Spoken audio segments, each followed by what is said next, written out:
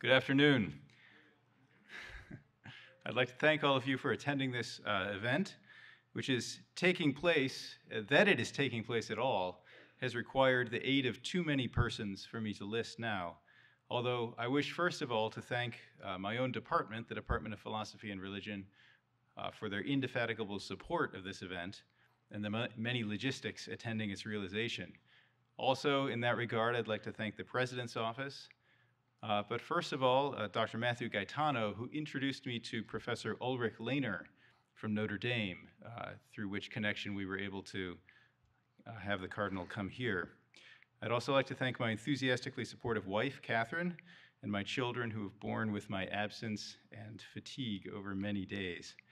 There are many others uh, who have been involved in this, uh, especially the Catholic Society, whom I hope to have the opportunity to thank more directly in the days to come.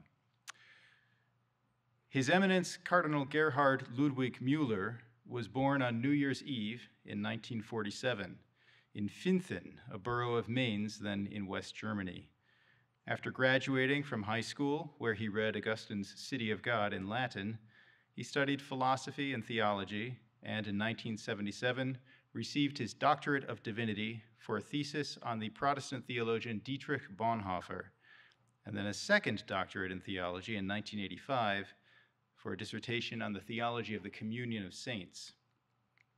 He was ordained a priest a year later, in 19, um, a year after his first doctorate in 1978, and pastored at three parishes. Eventually, he was appointed the Bishop of Regensburg, Germany in 2002 by Pope John Paul II, and he chose as his episcopal motto Dominus Jesus, Jesus is Lord.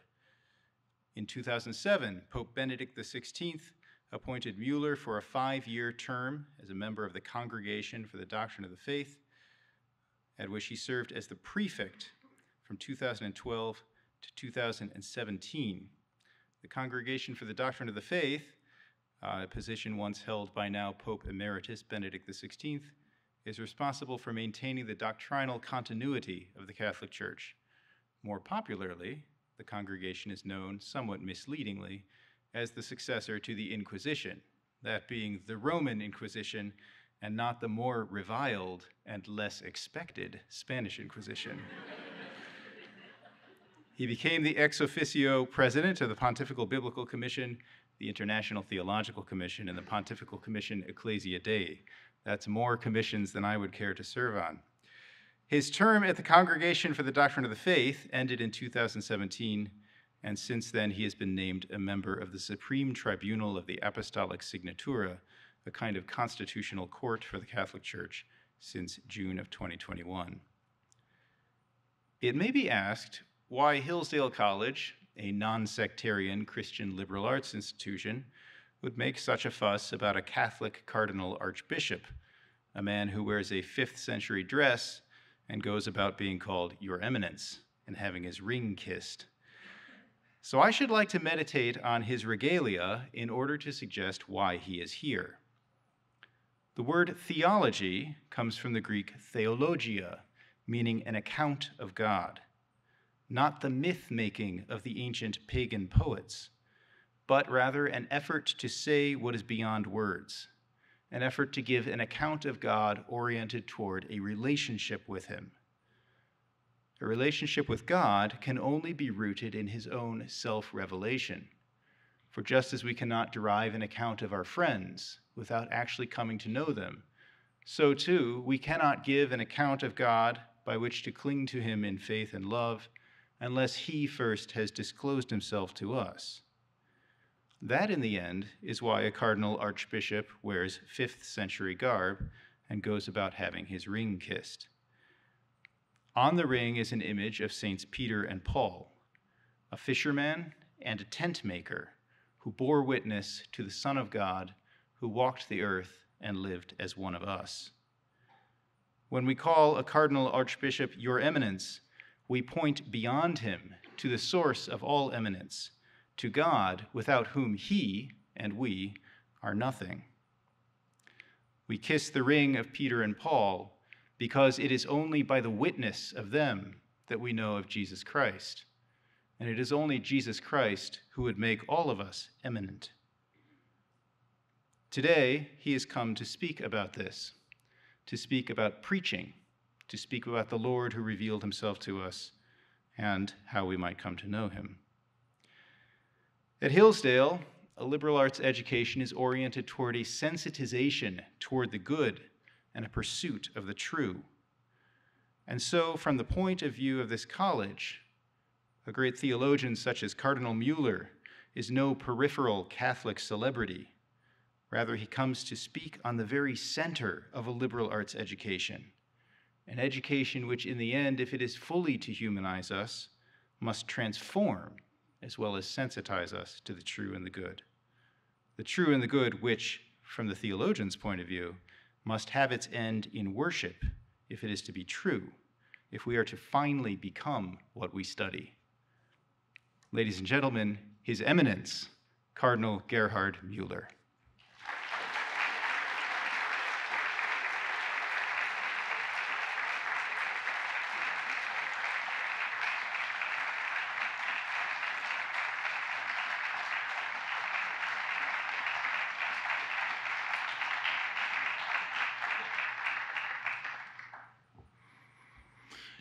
Thank you very much to you all for this heartily welcome. We all are brothers and sisters in Jesus Christ. It's not only an idea, but a real person, is a son of God who became flesh, one of us.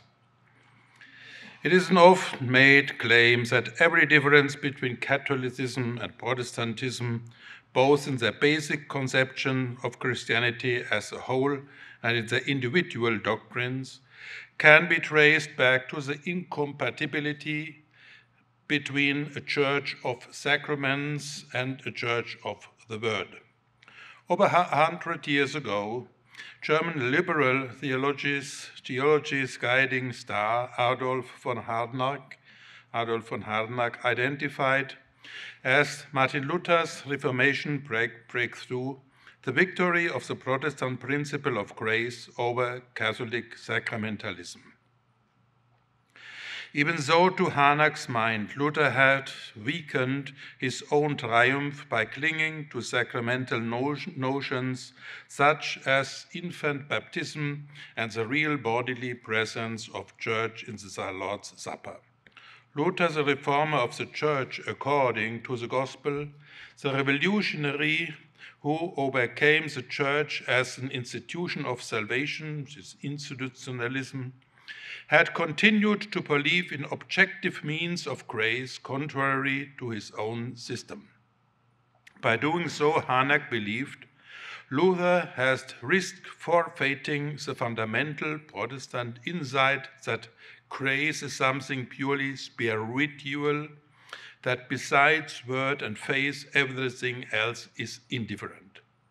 But perhaps is in not holding everything else to be indifferent, Luther understood the teachings of Christ better than did Harnack. Harnack. Indeed, Harnack's affection for the purely spiritual led him to oppose the belief that God, the Son himself, has actually lived as one of us Along with this, the very premise of Christianity, Harnack rejected also Christ's redemptive death and resurrection from the death for the salvation of mankind. For Harnack's Church of the Word and of faith represents the true principle of Protestantism. Then we should have to abandon any ecumenical search for Jesus' desired unity lapsing instead into a pursuit merely of good relations between what we are, in the end, in reconciliable religions. but things may not be so bad as all that, for Harnack is both a poor interpreter of Christ and an unfaithful expounder of Luther. Today, I will suggest that on biblical, historical, and dogmatic grounds, a church of the word and of faith is not irreconcilable with a church of the sacraments, but that the distinction represents chiefly a difference in theological approach a difference that is not insurmountable Protestantism and Catholicism to differ, and in a substantial ways, but word and sacrament is not ultimately the line of division. In this talk, I will first ask what we mean by preaching, and I will argue in light of the incarnation and human nature that sacraments are a form of preaching as deeds alongside words. Second, I will propose that the existence of these deeds of Christ through the Church does not reflect conflict with the principles of the sola fide and solus Christus. Lastly, I will acknowledge, acknowledge certain differences between Luther and Catholicism while I reflect upon the relationship between the Christ's preaching and our spiritual lives. First, what does it mean to preach Jesus as the word incarnation, word incarnate? What do we preach when we preach Christ? Not just a message, but God the Son Himself.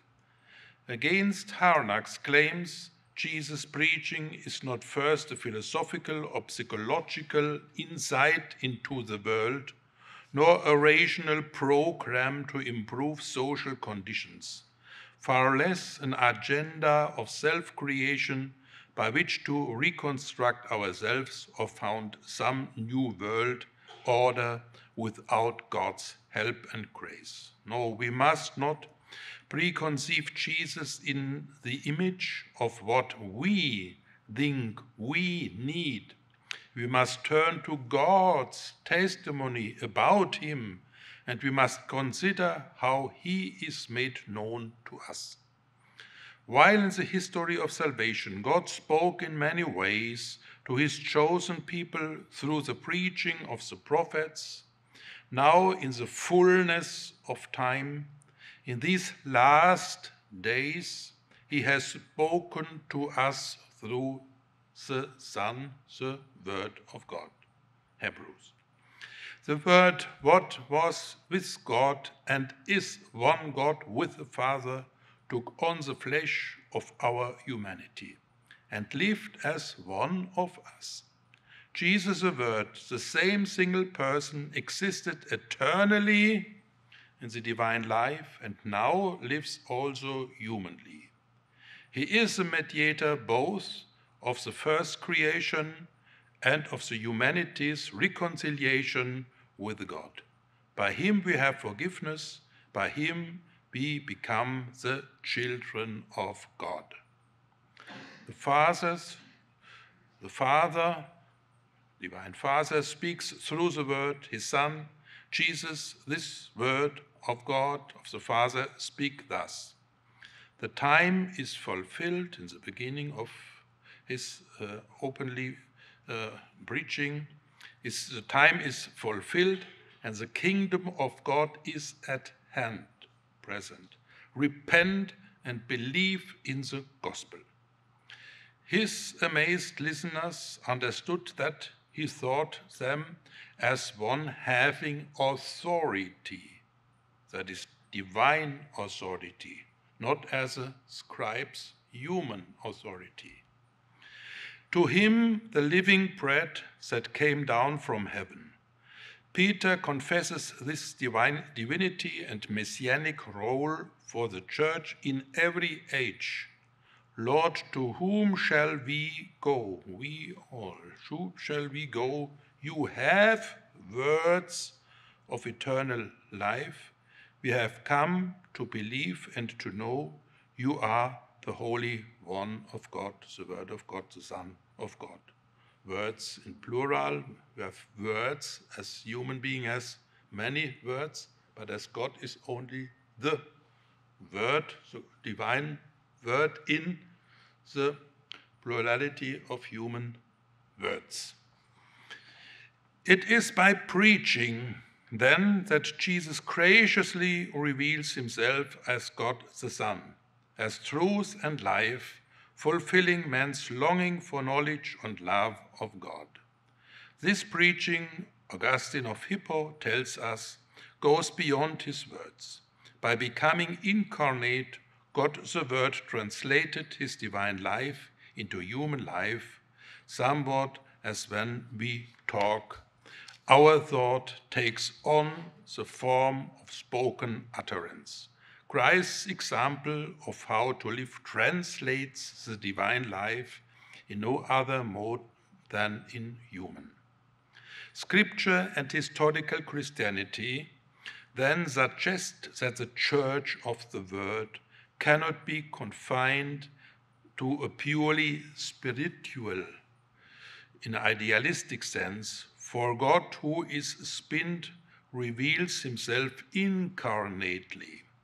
For an authentic church of the word, then, we look not to Harnack, but to the great Lutheran theologian Dietrich Bonhoeffer, who died in the Nazi camp, but as a great witness of Jesus Christ. He wrote, For the original preached word is the incarnate Christ himself, not preaching about Jesus Christ, but he is the content of the preaching. The incarnated Christ is God. Thus, God's preaching is Christ Himself, God as man, Christ as Word. As a word, he walks through the congregation, the congregation of this is the church, the assembly of the believers. If we follow Bonhoeffer, the preaching of the church must communicate this word, the Logos, the God, the Son. That is preaching, that its preaching may conform to the incarnation. The church must be a church of the world in two senses. First, I must face, it must faithfully transmit Jesus' own self revelation of himself as God the Word incarnate as Messiah. With Simon Peter, the entire church must confess, You are the Christ, the Son of the living God. Biblical expression, living God against the dead gods of the pagans, therefore, son of the living God, the real God. Second, it must be faithful to how he reveals himself. Otherwise, the church's constitution would not conform to Christ, who is the mediator of our salvation. Christ reveals himself not only in a word, but also in deed. Through the church, Christ preaches himself, doing so equally by the proclamation of the gospel as his words and by the sacrament as his deeds.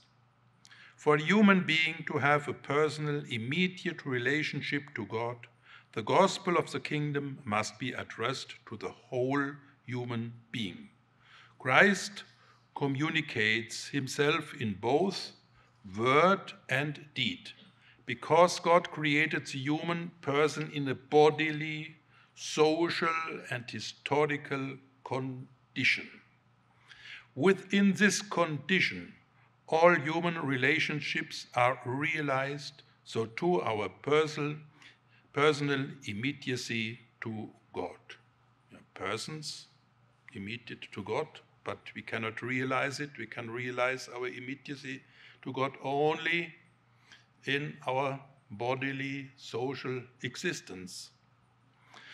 This has consequences for our understanding of the church of the word. If Christ reveals himself indeed, that is mediated by bodily, corporeal actions in the concrete physical world, then our own relationship with God cannot exclude a priori the corporeal sacramental mediation of his grace in the apostolic church nor if Christ reveals, reveals himself in word, can our conscious hold on truth be somehow opposed to the existence of a teaching authority in that same church. Rather, these pairings correspond both to the manner of Christ's self revelation and to the bodily, spiritual, and social nature of each human being. Harnack for all his supposed sensitivity to the state of man, imposes an unbiblical, dualistic, Cartesian, Cartesius understanding of the human person, with the essence of man in his sinking spirit, res cogitans, set over against the supposedly lower to material and bodily nature, res extensa, that holds the spiritual in bondage. Christ incarnate himself did not live thus.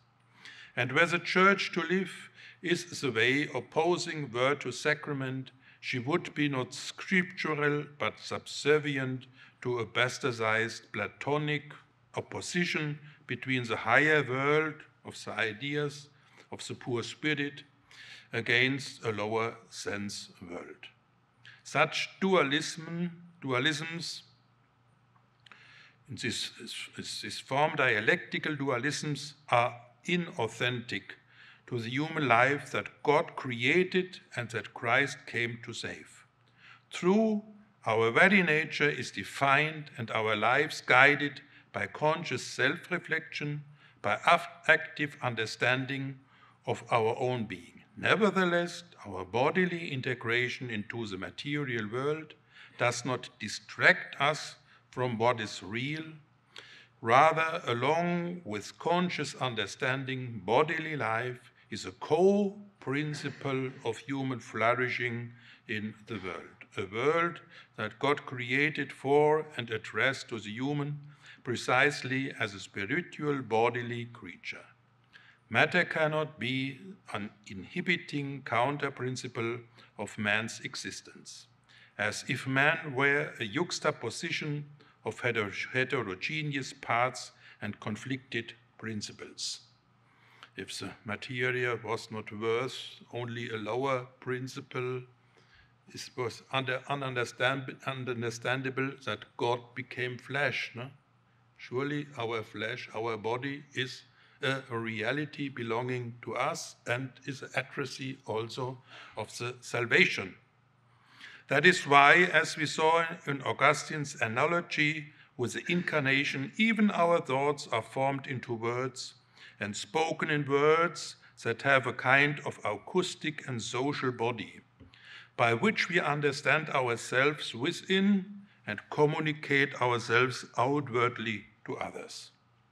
Our thoughts put into words externalize our self knowledge, our knowledge of the world, our communication with others, and above all, our intimacy with God.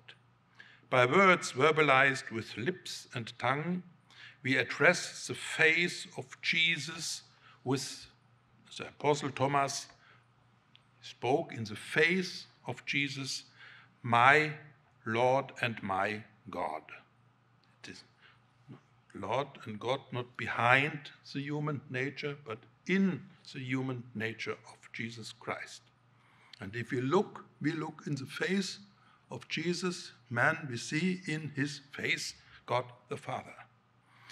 Or with St. Augustine, we pray, You have created us for yourself, and our hearts are restless until they rest in you.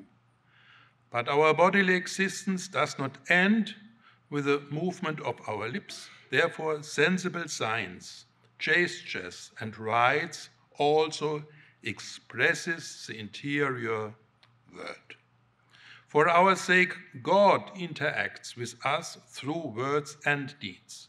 He makes himself present in his revealed name. His revealed name, I am who I am. And Jesus communicates his Father's saving will by his actions. He truly heals the sick, entering the grace in the bodily existence, brings lepers back into community, and raises the dead to life. That is the importance of our bodily existence. Word and deed cannot conflict because Jesus is the Word who become flesh. His words and his deeds reveal him as a Word of God who took on flesh for our salvation. The words of the church, therefore, which Paul calls the pillar and bulwark of the truth, are both spoken and enacted, preached in word and sacrament. The sacraments are deeds of Christ in and through the church, but what is a sacrament? Augustine of Hippo gives us a very basic definition. A sacrament is an outward visible sign of some invisible grace. By grace here, Augustine means something broader than only God's freely given forgiveness. Grace is both God's unmerited activity toward humans, and it is the effect of this activity both in humans themselves and in their relationship with God. Faith itself is a grace. While not all denominations will agree on the relationship between the sign and the grace, the Catholic Church teaches that the sacrament instituted by Christ are outward signs of an invisible grace that God works through the sign by the power of the Holy Spirit. For God to work through the sign may seem to make the sacraments into rituals by which human mages capture and deploy divine power. But as with Christ's self revelation in word and deed, here too we remember in every day we live, communicate, life communicate to one another through signs.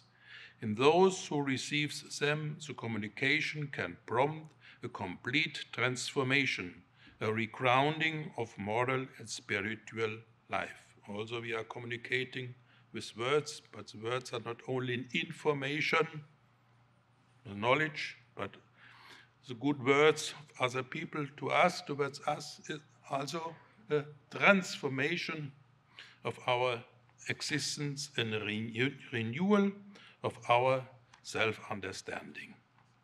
But in the church's word and sacraments, God Himself is at work. The church preach, preaching does not merely declare, but transmits Christ's self revelation by word and deed. This is not too bold if we acknowledge with both Luther and the Catholic Church that the Holy Spirit makes a difference between efficacious preaches and mere speaking. Through the Church, it is Christ who makes present his gospel in word and sacrament because God works salvation in the believer through preaching, whether spoken or heard or enacted and received. When Christ speaks to us through the mouth of the commissioned witnesses, words bring about salvation in those who thereby come to believe in him as the Son of God. The Holy Spirit, moving us through preaching the faith to faith and conversion, to repentance and love, makes all true preaching, in this sense, sacramental, visible, tangible. A preaching by deeds, the sacraments can be understood as inst instruments of God's self communication and salvation. Baptism, instituted by Christ, is a grace filled self communication of the Word made flesh as a gift of eternal life. Through baptism, the Holy Spirit causes faith in those who are baptized, so that Christ says, as says we are reborn in water, visible things, and the Holy Spirit, the power of God, becoming his sons and daughters. Through the Son, in the Holy Spirit, we, will, we reply, Abba, Father, personal relation to God. Luther understood that preaching as preaching is inseparable from the activity of Christ and the Spirit, when in 1529 at the Marburg colloquy, uh, he defended against Zwingli the sacraments within a church of the word. He is in baptism, the Lord, in the Lord's Supper, and in teaching until the end of the world, until he comes. And Luther conflicts neither with the Catholic tradition nor with his own Protestantism when he grounds this in the Incarnation. I know God only as he became human. so I shall have him in no other way. Likewise, for the Catholic tradition, the sacraments belong to God's own efficacious preaching through the Church. Preaching, second point, preaching in word and sacrament amidst the Protestant principles. This vision of being a church of word and sacrament poses no challenge to a Catholic self understanding. But if Harnack was wrong about Christ, might he still have been right about Luther? But Luther lived up to his own principles by retaining sacraments. Let us consider just two as time permits. Sola fide, faith alone, et solus Christus, Christ alone. Sola fide, alone, faith and the sacraments. Can the sacraments, as deeds or signs that are instruments of divine action, have a place in a church of the word? And faith, when faith means faith alone. The letter of the Hebrews tells us that without faith it is impossible to please God. For he who would approach God must believe that he is and that he will reward those who seek him. This seems to comfort ill with the Catholic Church's teaching that the sacraments are effect ex opere operato from the deed alone. And to the reformers, criticized this sacramental principle was seemed to hang human salvation on the deeds of the church ministers rather than on the Christ and the Christian faith. First, this is a misunderstanding of the ex operato. Ex opere operato, from the deed done, means that the sacraments are effective not by the moral holiness of the human minister or recipient, but by Christ. For Christ is the actual minister of the grace that he personally communicates to concrete bodily social human beings through the sign acts that he instituted in the church. Second, even the primacy of Christ in ex opere operato does not exclude the importance of faith in the Christian recipient. For either the sacraments impart faith, as in baptism, or their effect is received by faith, as in the Eucharist. Otherwise, we should be saved by submitting to an action of the sacrament rather than by receiving Christ, who communicates himself through and in the sacraments. In keeping with these two points, the Council of Trent declares that we are justified by faith without preceding human works and merits, in, inasmuch as faith is the beginning of human salvation, the foundation and root of all justification, without which it is impossible to please God and to enter into the fellowship, the fellowship of his children. Perhaps thou, you will say that I am being too hasty. But can we reconcile Jesus' claim that we are reborn by water and the Spirit with St. Paul's statement that faith comes from hearing, the preaching of the word of Christ? Consider that we are saved only if we believe that Jesus is the Lord and that God raised him from the dead. Faith may have varying degrees of explicitness, but one cannot separate faith as a personal act, fides qua creditur, from the faith as an authentic knowledge to his objective content, fides quae creditur, any more than one can separate the act of holding something from the anatomy of the hand and its configuration to the object held. Therefore, Christ instituted baptism as a sign and effects faith through this significant sacramental preaching. Our bodily spiritual constitution and Christ's incarnate mediation do not permit us to transcend, transcend all externals. By the same token, no external, externals are mere externals. If faith comes from hearing, our participation in baptism is a form of hearing. Ordinarily, in this life, the human mind does not know God directly in his own being, but in the accusation of conscience, in the thoughts formulated through our apprehension of the works of creation, and especially through, through the human nature of his Son.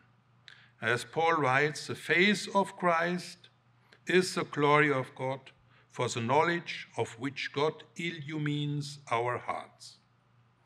If faith is conceived only idealistically, spiritualistically, as a purely spiritual inner reference to God, it is disincarnated.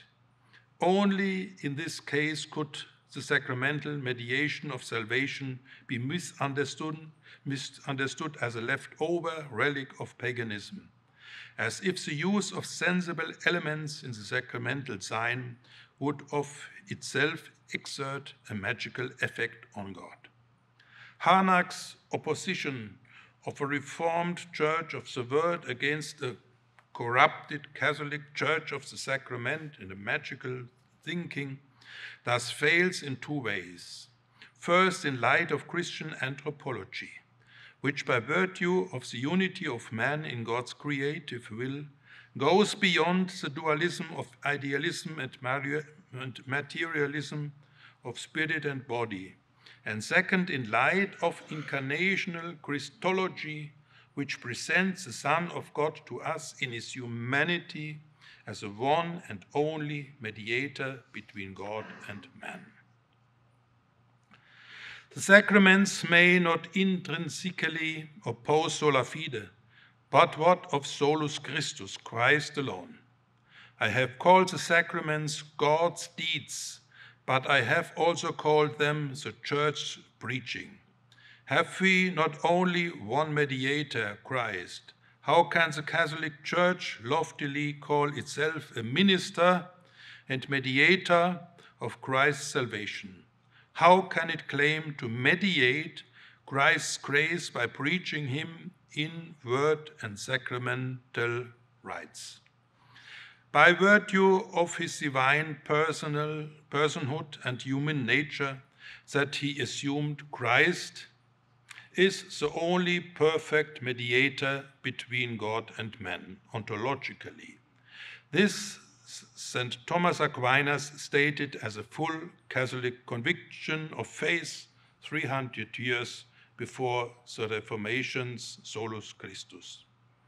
But this does not dismiss the fact that the prophets and the priests of the Old Testament were also called mediators between God and man as forerunners, forerunners and servants of the future Messiah.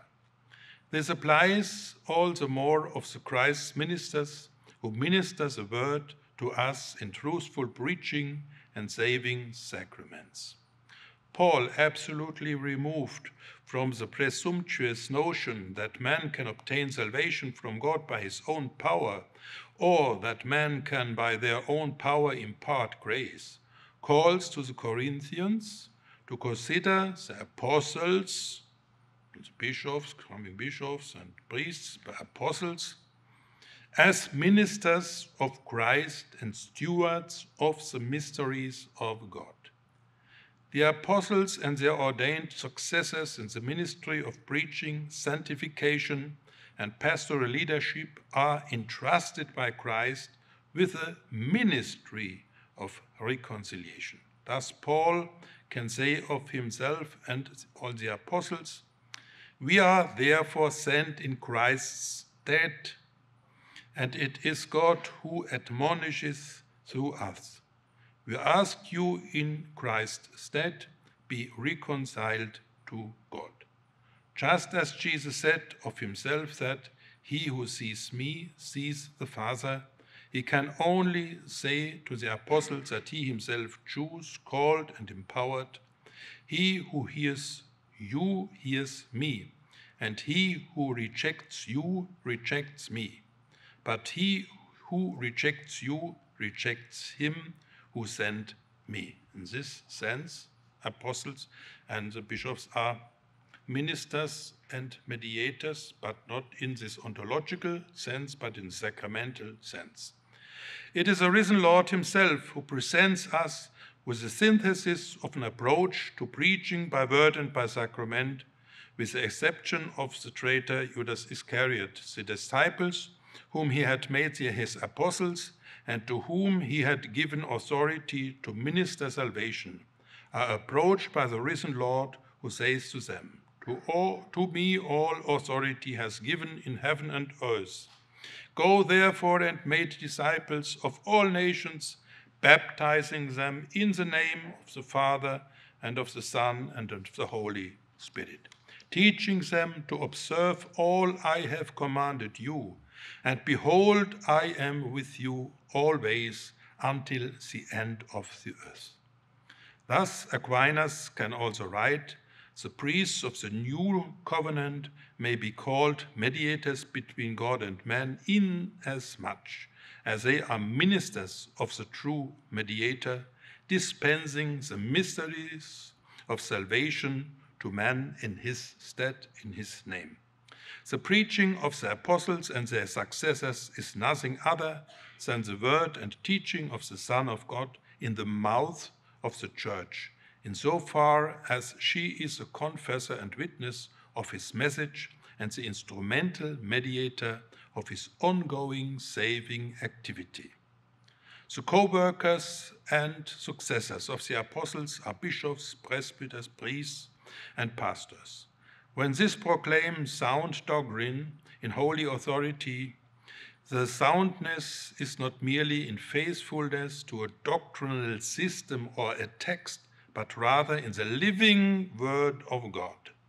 Preaching and deeds are probably sacramental because they are wielded by the Holy Spirit to accomplish their purpose. If the church is mediator in Christ's stead, as Paul says, it is because Christ and the Spirit and not we poor ministers are the true authors of the church acts. For this reason, the Second Vatican Council states In order to complete God's universal saving action in and through her, Christ is always present in his church, especially in her liturgical celebration. He is present in the sacrifice of the Mass, not only in the person of his minister, but especially under the Eucharistic species. By his power, he is present in the sacrament. So when a man baptizes, it is really Christ himself who baptizes. He is present in his word, since it is he himself who speaks when the Holy Scriptures are read in the church. He is present, lastly, when the church prays and sings, for he promised, Where two or three are gathered in, together in my name, there I am in the midst of them. Christ indeed always associates the church with himself in the great work wherein God is perfectly glorified and men are sanctified. The church is his beloved bride, who is called, who calls to her Lord, and through him offers worship to the eternal Father. As a conclusion, before I conclude, I must pause for a moment out of respect to acknowledge a difference between Catholic and Lutheran conception of the faith that is nurtured through preaching. The Catholic tradition and Luther both confess that faith is an unconditional trust in God and a firm belief in and anticipation of the promise of forgiveness and the vision of God's face to face.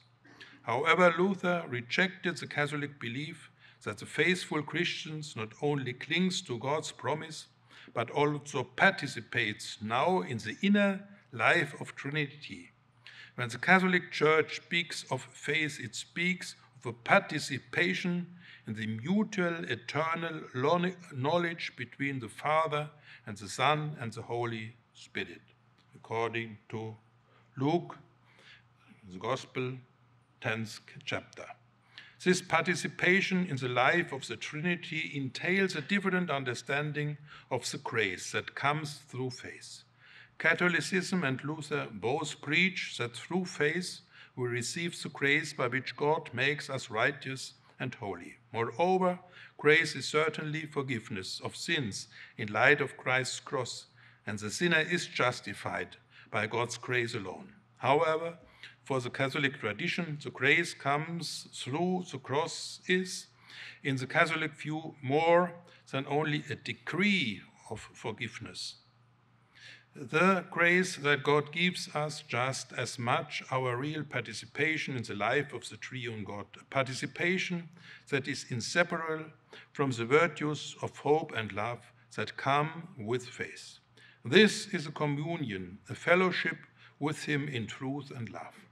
Through this grace comes our sanctification, our imitation of Christ, and our configuration to His image. This and not just God's, our experience of God's decree is what it means to become a new creation, children of God.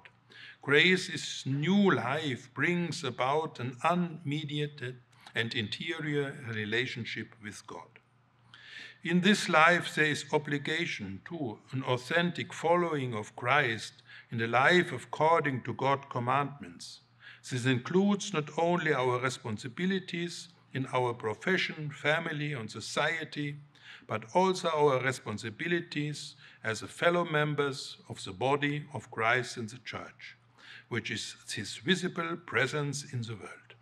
And so the gift of forgiveness and fellowship the triune life initiates a struggle of fear and trembling, as Paul declares to the Philippians. But one that is equally a matter of rejoicing, for it is God at work within you both to will and to work for his good pleasure. Grace of as fellowship in God's life transform every aspect of our own, so that despite of accompanying, accompanying imperfections, our smallest acts of love, our littlest acts of compassion, or respect for one another have their origin and their reality in the life of God Himself. Given this view of the spiritual life, no Catholic can deny that it is beautiful fruit of ecumenical dialogue that the controversial opposition of the Church of the Word and the Church of the Sacraments can be overcome by a more authentic understanding of the Lutheran and Catholic traditions, even with their differences. Today, one does not find Catholic theologians defensively limiting the priestly ministry to the offering of the Eucharistic sacrifice, as if preaching were mere preparatory instruction. For every priest is a minister, and every Christian must be a partaker of the Word, that is, of Jesus Christ, who reveals the unity of Word and Sacrament to his apostles when he says, preach the gospel to all creation and then signaling the dual content of his preaching of this preaching he declares whoever believes and is, is baptized will be saved belief and sacrament are in jesus christ a unity especially given the catholic understanding of faith hope and love as a share in the life of god how could we bear to let harnack or to let Catholic defensiveness sequester word from sacrament in a preaching that inspires our faith. Overcoming this false dichotomy, we may see the church as Christ's body, functioning fully like a sacrament that is as a sign and instrument both of the very closely knit union with God and the unity of the whole human race. The church does this by continuing the preaching of Jesus, both by word and by deed. Thank you very much.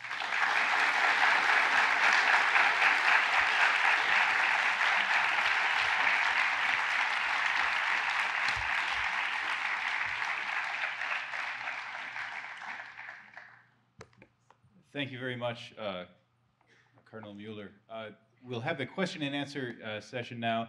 There are two uh, delightful students who have microphones.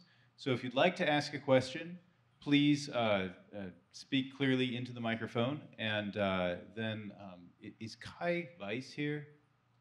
Where are you? Where's Kai? Not here. Uh, yes, you are. Well, come to the front because we may, if there's any assistance needed in the translation of the question, it'd be wonderful to have you at uh, Cardinal Mueller's elbow to offer it. Uh, Kai is from Cardinal Mueller's own diocese of Regensburg in Germany. You just go right up there. All right. Carry on. Teamwork.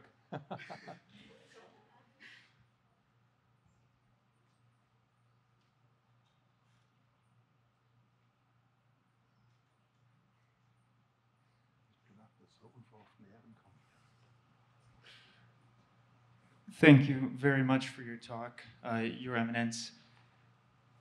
What steps ought we take as Christians uh, who live on earth divided by denominational lines? What steps ought we take first and foremost to work toward ecumenical dialogue with each other? And how can we enter more deeply into conversation and into our common Christian faith? Yes, it's not belonging to us. Human beings, we cannot reconstruct only with our forces and understanding the union of all Christians, what is the will of Jesus Christ, when we can pray together. That is, uh, when we can overcome all the differences. But we have also to look to the great turn of the ecumenical movements and dialogues in the past when we were coming from a common uh, Christian tradition, uh, tradition, and when the societies were basically a Christian in a Christian uh, culture, there was uh, a dialogue about the sacraments, about justification, about uh, the primacy of the Pope, about the sacramentality of the what is bishop and priest and deacon, sacrament of orders, and the veneration of the saints and uh, the position of St. Mary, the mother of Jesus Christ, in the uh, complete context of our closeness to God. But now, also in our Western world, not only in China, in Asia, in the Muslim world, but also in the American, European world, we have this uh, aggressivity against the basic basics of Christian faith that we believe in God, in the reality of God, and that we not want to lose our identity in a so-called civil, civil religion when we are together with atheists and only say no, there is a spiritual background uh, of the world and all religions are the same. And where explicitly uh, they made front a war against our anthropological uh, uh, basic understandings what is human being as a creature, man and woman, and what's the meaning of the sexuality in the context of, of the marriage and our anthropology. And therefore, uh, we must stay together, all Christians of different denominations, first in these basics, the belief in God and the defending and promoting the dignity of everybody. In this context, we can further discuss about the uh, traditional controversies um, and we can work together in charity, but also in education um, and in the, the influence we have to promote also in the so-called political discussions. It cannot be that your president presents himself as a practicing Catholic, or, but in the same time, um, they are making laws absolutely against the life. The life is coming from God, and we are not the authors of the life. Only God is He who has the right about life and death. And everybody is equal, and not those people who have uh, are the Forbes list. They have no more right than the last poor African in Nigeria. That is absolutely clear. Word and deed, belief and fellowship of Jesus Christ must belong together, and therefore we need the engagement of real Catholics or evangelical or Protestant uh, Christians in this public discussion about the, the true, uh, true basis of our existence. You are in America, you had the first constitution, democracy, um, but in the modern sense, that truth, life, pursuit of happiness, of fulfillment, of the autonomy, not the states defines what is your luck, but according to your consciousness, you have to go along. Um, that's coming out of Enlightenment, Thomas Jefferson, etc. Uh, also Freemasons was implicated, but the basic of the, the content of these ideas are of Christian origin. No? All we are equal created, everybody is creature of God uh, in his image, in his likeness. And in our faith, everybody is, can become son and daughter of God, friend of the Holy Spirit. No? And freedom, surely God, the truth make us free, and the freedom and the truth is coming from God, is God Himself. That's our, our um, to understand ourselves as brothers and sisters. This is Christian thinking, just beginning from the Old Testament, Jewish Christian thinking, that our values and surely also um, is approachable by our human reason, but some philosophers outside the historical Christianity, like Platon, Aristoteles, and the Stoa, no? Seneca, Epictet, and all these philosophers had a certain approach that if you uh, look to your own reason, it is absolutely self-evident that all persons ha have the equal rights and nobody can be decide if other life is worthy to life or the unworthy to life. Intelligent, less intelligent people, the genius and the normal people, and the um, sick, the poor, uh, the rich, all are in immediate relation to God, and we are responsible towards Him. And this, I think, this must be uh, also a, program, an idea for the future ecumenism. No? But we cannot make a compromise and say there's a classical Protestants have only two sacraments, baptism and Last Supper and other understandings, and Eucharist, and we have seven. Oh, we make little, we take together five sacraments. that is not a theological approach. That would be a commercial, economic thinking, but has nothing to do with our faithfulness to the Word of God in our understanding. And for us Catholics, it's, it's clear that the, the, number of the sacraments, seven sacraments, is uh, revealed uh, truth, and we cannot make, in this sense, compromises. Okay, Your Eminence, um, somewhat relating to word and deed, I was just wondering if you had any insights into why Christ chose to teach in parables, in stories, as opposed to just teaching blank doctrine.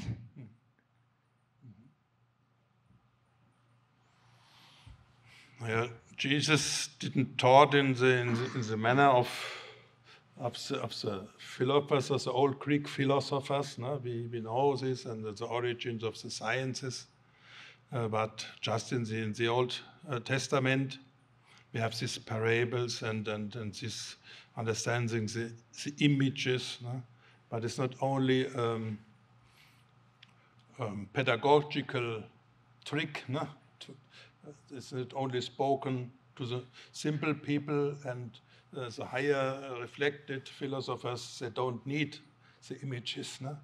Because, because also the most abstract concepts we have in our mind are mediated by our, our seeing and touching the reality. No? We have not, like Descartes and others that we have not idea innate, inborn ideas.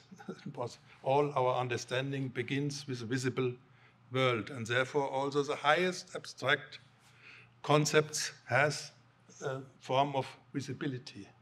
And therefore, um, the parables are the explication of the kingdom of God and not only a trick like to speak of the teacher with young children. Also, children can come to the kingdom of God, but in this pedagogical way, is that uh, parables are the explication of the reality of the kingdom of God in midst our concrete life. No? Therefore, um, Jesus did not only you are healed, but he did touch the people with his hands no? And looked them in the eyes and then praised them.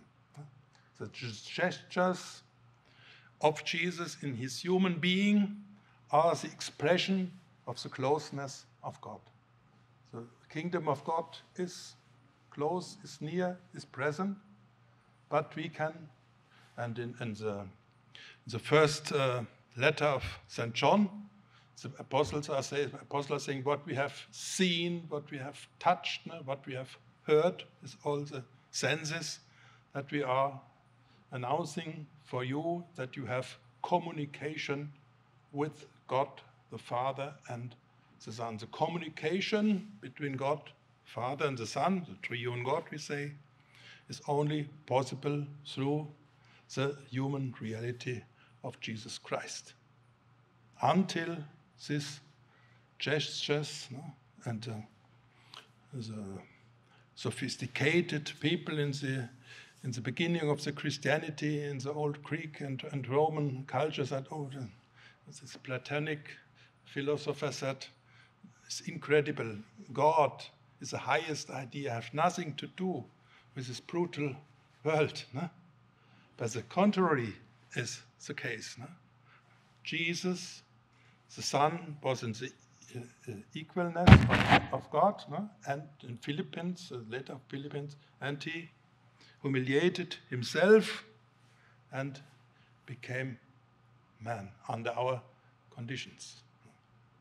That is a, a mystery of Christianity beyond the spiritualistic, idealistic thinking, away from the visible visibility, but of the other side of a materialistic, magical thinking which has nothing to do with the idea. Thank you, Your Eminence. Um, would you describe to us, uh, in the detail which you're permitted, what it's like to be in a papal conclave?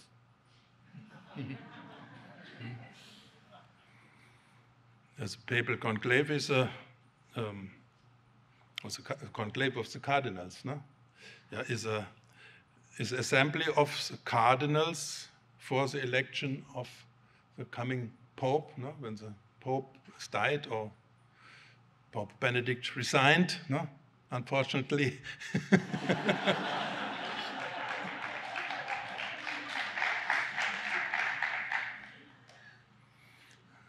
I am principle against this resignation, but also the resignation also of the bishops with 74 years, because the bishop is a father of the faithful, the priest is a father and you can never become, become retired like in a worldly profession. No?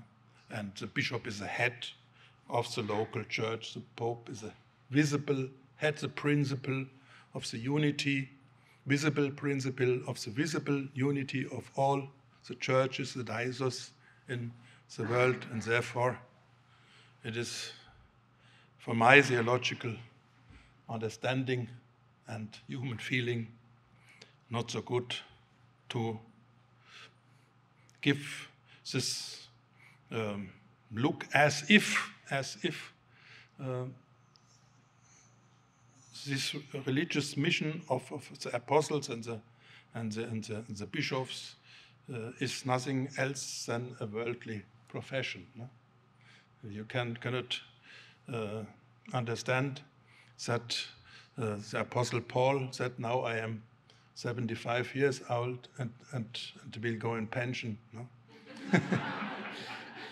Incredible. but uh, the, the, College of, of the Cardinals has developed in the late um, ancient times and in the Middle Ages uh, because uh, Pope is a Bishop of Rome and the Bishop of Rome is elected by the Church of Rome. Not all the faithful is impossible by, by the, the seven um, bishops of the suburbs of, of Rome and the, the, the main pastors of the old great parishes of this gigantistic, gigantistic uh, city of Rome in the old times and uh, of some proto deacons. And this is, is, is a um, sozusagen um, der Kern, der Nucleus, der Nucleus, the Nucleus, Nucleus, ne, Nucleus of the later College of the Cardinals, no? and they have to pray, no? who will be the best candidate not to say in an infantile way, now we need an Italian, others said, now we need a black man, and now we need an Asian. All are equal. it's, not, it's not a criteria. Criteria must be a person who is elected by the Holy Spirit, but he must be the successor of, of Jesus Christ a successor of, uh, of in, the, in, the, in the faith of, of Jesus Christ, successor of St. Peter saying, You are Christ, the Son of the living God. No? He's responsible for the sound doctrine, for the unity in the church as a good shepherd, leading the people of God to the eternal life. And to have this uh, understanding, um, Pope Gregory the Great said, the Pope is Servus Servorum Dei, no? the first minister of the ministers. is a service? For the people. Not so important is climate change, uh, or the meetings with the representatives of the big reset or politicians. Most important today is to speak about the living God, Jesus Christ, the eternal end we have, what to what end we are existing in the world, and to give to everybody hope. No? Hope beyond this short time we are here on earth. No? But we are created since the eternity in the light of the Son, eternal Son of God, and before our earthly existence, we are chosen and elected in the eternal love of God, and therefore the, our life cannot end here in the moment of our earthly death, like the animals, but this is a last step when we are entering the eternal life, and the eternal life is not eternal because it is time, time, time, time, time without end, but eternal is a participation in the essential eternity of God, in, in His substance as love in the relation of Father, Son, and Holy Spirit. That is the eternity.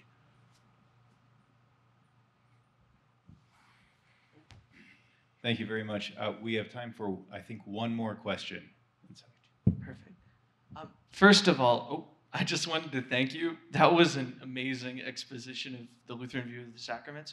Uh, and second of all, I just wanted to ask a clarification because at the end, when you were talking about our differences, you mentioned that the Lutheran view of faith doesn't, if I understood you correctly, include love and hope as a you know the growth in love and hope as a result of that. So, are you referring to like the logical ordering of the two, as in occurring simultaneously in Catholic doctrine versus love and hope as a result of faith in Lutheran doctrine? Because that's how I've always heard it connected. So I just wanted to, I wasn't quite clear from the speech. Uh, yeah. Um, this is not so, not so, not so easy to, explain because uh, we, our concept in theology is, uh, Catholic is objective representation of the ontological basis, the coherence of all, is a more intellectual approach. Um, um, Anselm of Canterbury, fides quaerens intellectum, here we have the faith and we want to understand what it is. No? uh, but Luther began with a psychological approach. No? As a monk, he lived in his, uh, in his doubts. How can I become a, um, a graceful God? No? For, for, a theologi- Catholic approach, it's not easy to understand this approach, but he was just a Christian. He was baptized. It was not necessary to look for a God uh, who will him justified because he was justified. No? just of the beginning. And it was a certain turn of another understanding of faith and grace. The basic words is a, is a psychological relation between God and me. Not, not so much the objective reality in the sacraments, in the, the creed of the church, and so but more I must look, what can I do? And I, his experience was I can nothing do, only I have the faith, no? only I can project all my faith and my confidence to God. And this moment, through this faith as confidence, I am justified. No? Could be for us only also an aspect of our spirituality, but we cannot say these are two uh, equal approaches. No? We must stay by, by, this more objective reality. No? And in the Old Testament, also in, in, St. Paul, in the uh, letter to the Romans, was not this question of Luther. No? This was the understanding of some Jews. They said the old law in the Old Testament, that is a way of uh, salvation and justification. And St. Paul and the church is saying, no, the faith and Jesus, the Christ, no? not only inner uh, belief, but the real confessional belief in Jesus, the Christ, that is a justification, but not um, doing apart the law, the divine, the, the, the, Ten Commandments, but they are integrated no? in the belief and the hope and the love of God. No? Yeah, not uh, lawless people. No? That I believe in God and, and then I can do what I want. No, no. exactly because I believe in God, who gave you, he, he revealed His salvific will the, the commandments are the will of God who shows us the good way in the, the best direction. No? But in and through and with Jesus Christ, his Son. The, the commandments cannot stay a part of Jesus Christ. Apartment, the commandments of the Old Testament are have his fullness in the person of the Word who became flesh. No? Therefore, we can surely come closer in the doctrine of justification but we cannot, as Catholics, only uh, remain by this aspect that, that is, uh, is only the, the, the grace and the faith is only a consolation of my wounded conscience. No? Uh, this was in Luther in his special biography, in a special monastic background. No? And I think we um, have to say also that faith is not only this consolation of my uh, wounded uh, conscience, uh, my feeling a deep sinner, no? but the faith is also an elevation of our real existence of, to the level of God. And we are a new creation, not only we are feeling as if we are a new creation, we are, we, um, we are uh, set children of God, no? sons of God in the first letter, St. John, we are children of God. No? This is ontological basis, that not only this psycholo psychological meaning, but we of the Catholic uh, theology, we can integrate the psychological elements. No?